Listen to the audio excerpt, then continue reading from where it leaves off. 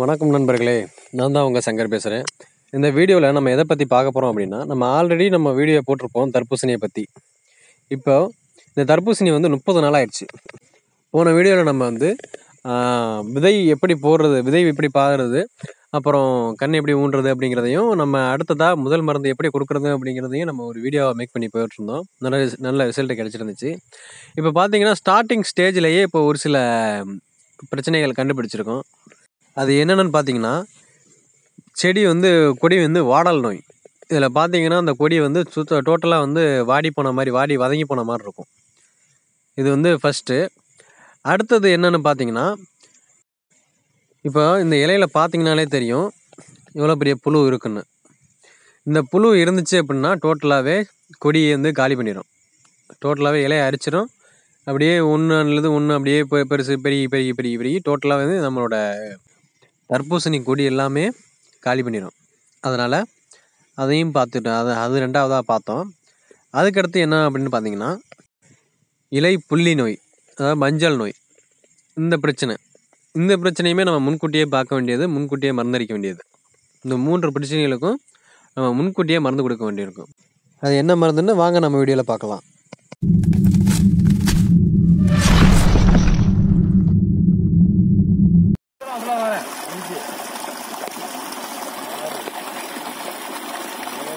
தண்ணி வராம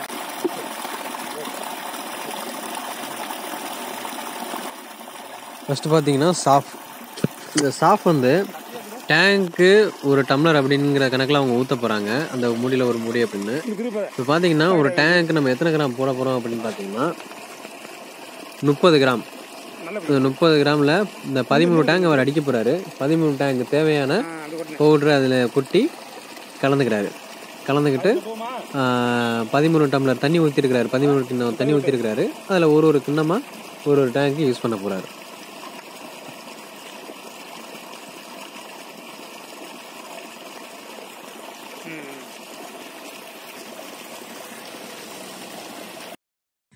அடுத்த மருந்து என்னன்னு பார்த்தீங்கன்னா எக்ஸோடஸ் இது வந்து ஒரு டேங்க்கு முப்பத்தி அஞ்சு எம்எல் அப்படிங்கிற கணக்கில் ஊற்றிக்கிறணும் உங்களுக்கு டவுட்டாக இருக்கும் அப்படிங்கிறதுக்காக தான் நம்ம எல்லாத்தையும் வீடியோவில் காமிச்சிடுறோம்.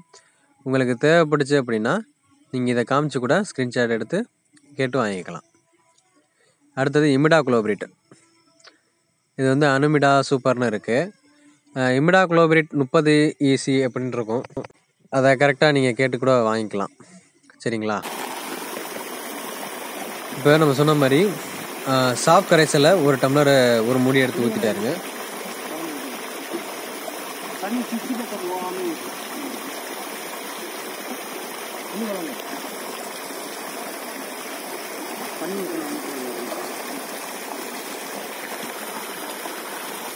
அடுத்தது வந்து எக்ஸோடஸ்.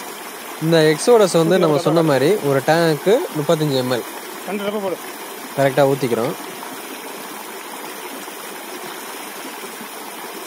நீங்கள் பொண்ணு ஏன் இது வெளியே பல்ல வெளியே வைக்காத ஏன் வெளியே வைக்கிற உள்ளே போடு உள்ளே ரொம்ப போதும் ஆ. உள்ளே போடுங்க. அப்போ இப்ப தண்ணி விட்டு விட்டு. என்ன மாதிரி தான் இருக்குது இது. மாடலில். அடுத்தது வந்து இமிடா குளோபரேட்டு அதாவது அனிமிடா சூப்பருங்கிறதுல. இது வந்து ஒரு டேங்க்கு பதினஞ்சு எம்எல் கரெக்டாக போட்டுக்கணும். வந்து கேப் இல்லாமல் எல்லா செடியிலையும் ஸ்ப்ரே பண்ணிட வேண்டியதான் அதாவது நம்ம எப்பயும் வழக்கம் போல சொல்றது தான் இந்த மாதிரி பிரச்சனைகளை நீங்க கண்டுபிடிச்சிட்டீங்க அப்படின்னா முன்கூட்டியே நீங்க மருந்து அடிக்கிறது நல்லது. அதுதான் நம்ம எல்லாத்துலேயும் சொல்றது. எப்போவுமே பிரச்சனைகளை வந்து போட்டுட்டு அப்புறமேட்டு பின்னாடி சரி பண்ணிக்கலாம்னு சொல்லிடக்கூடாது. எப்போவுமே முன்னாடியே நம்ம கண்டுபிடிச்சிடுறது நல்லது.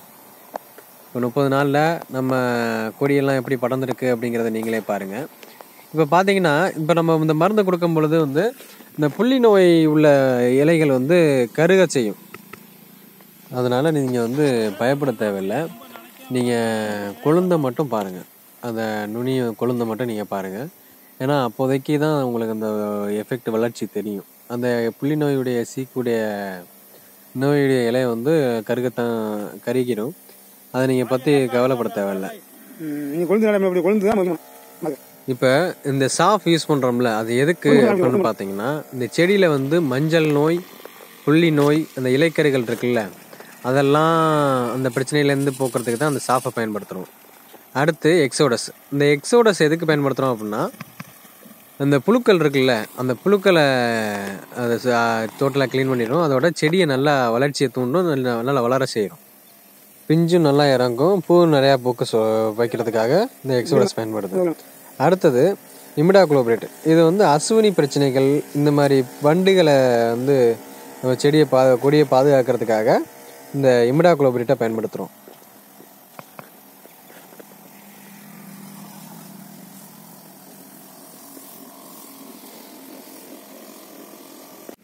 இப்போ பார்த்தீங்கன்னா இதில் இன்னொன்று பார்த்தீங்கன்னா முப்பது நாள் ஆயிடுச்சு இப்போ பிஞ்சு இறங்க ஆரம்பிச்சிருச்சு. இப்போ நீங்கள் பார்த்தீங்கனாலே தெரியும் எப்படி இருக்குது அப்படின்னு.